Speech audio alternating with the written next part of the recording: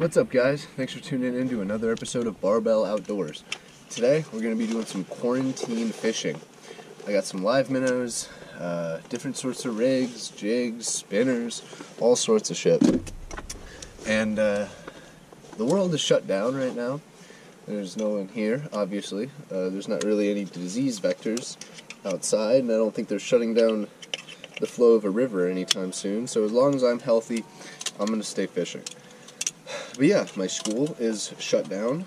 My work is shut down. All this due, of course, to the Chinese novel coronavirus. And, you know, I'm taking the necessary precautions. I'm taking the necessary precautions as much as I can. You know, avoiding groups of people, avoiding crowds. I'm upping my supplements, my vitamin C. I'm eating very healthily and uh, everything that you should be doing right now.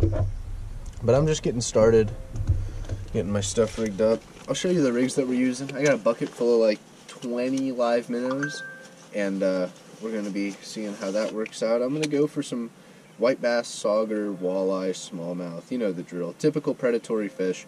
We're going to see if they're biting.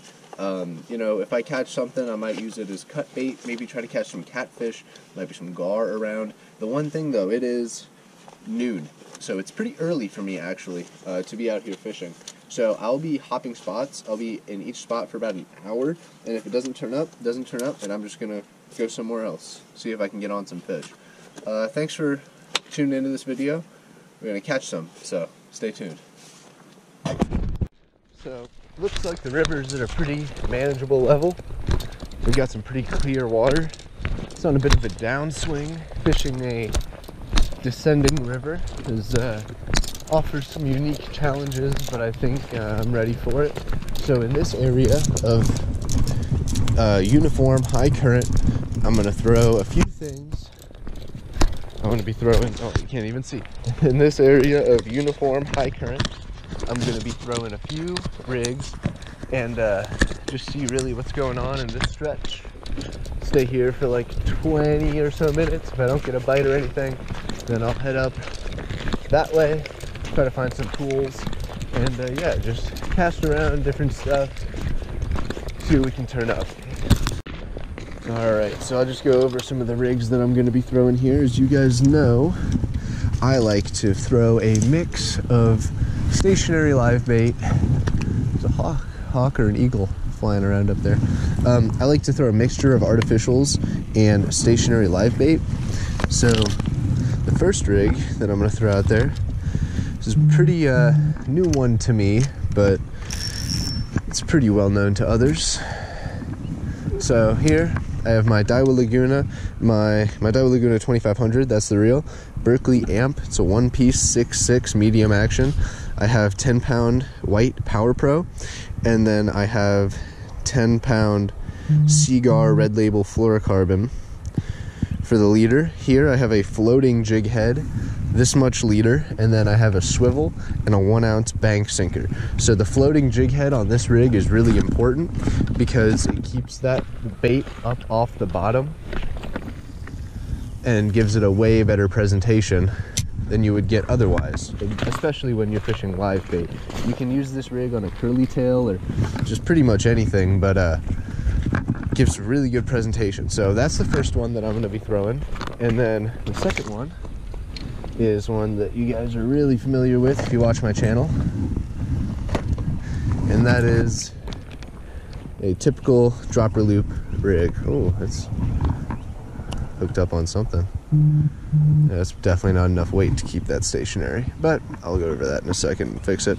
Uh, second one is, well, I'm gonna have to tie it. I forgot uh, my bank sinkers off this one. So let me get everything rigged up. Let's see if we can catch some fish. I'll keep you guys updated.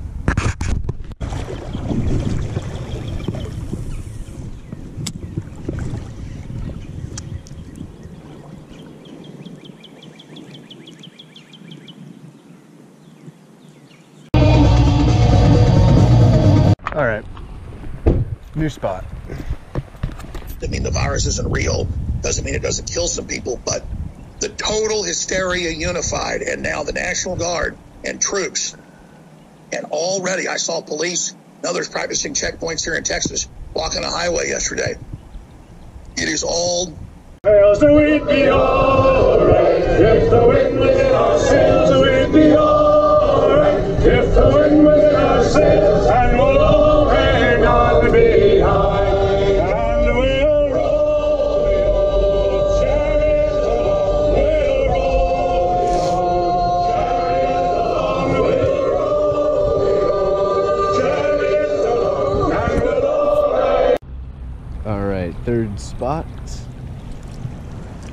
Same thing, we're gonna use these minners. I saw a bunch of uh, micros around here, looks like some little shiners, so hopefully there's some predatory species feeding on those shiners that'd be interested in some of my minnows here. You never know, but at least that's the hope. If it comes to it, I'll probably end up throwing something different. But as for now, we're just gonna keep running with this and see how it goes. Because I, I still have faith in these these rigs and this setup. Might be uh, ill-informed, might be misplaced, but I got faith at least for now.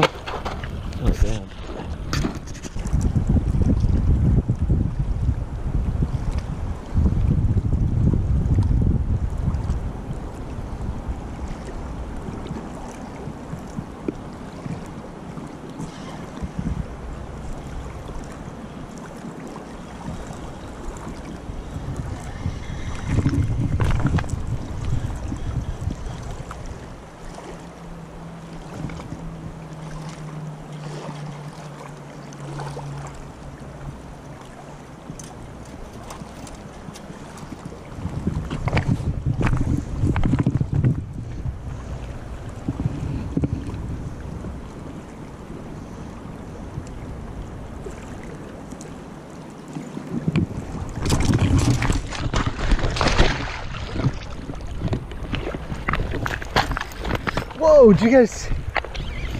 I was snagged on my own line and I had something grab it. What is this? Oh, this is nice. Don't come off. This is on that floating jig head rig, guys. What is this? It's big. It's a drum, I think.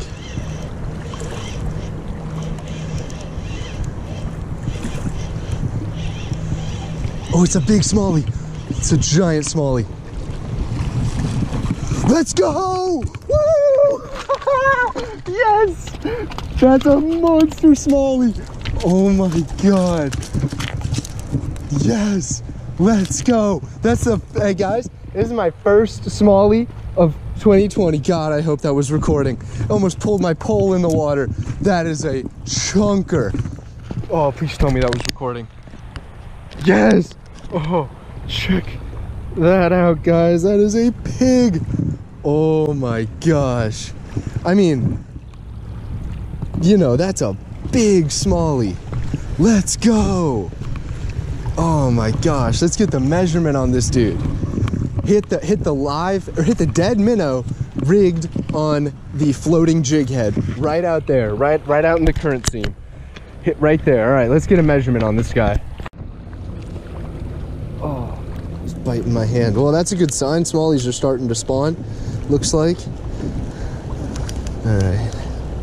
Tip to tail, that is 18 and a 18 and three quarters inches. That's a nice one, guys. That's that's better than almost every smallie I caught last year. I'm gonna get get him some water and I'm gonna take a picture. Ah. Guys, that is oh, it's been tough. It has been tough fishing these past few days. You know, I mean, I haven't really been able to to turn up fish the way I want to, but to catch a guy like this makes it all worth it. Makes it all worth it. Check that out. Look at that. That's a Fish Ohio for sure. Let's get a picture. All right, guys, we got our picture. Let's let this big girl go. Uh, there we go. Yes! Nice! Let's get after him.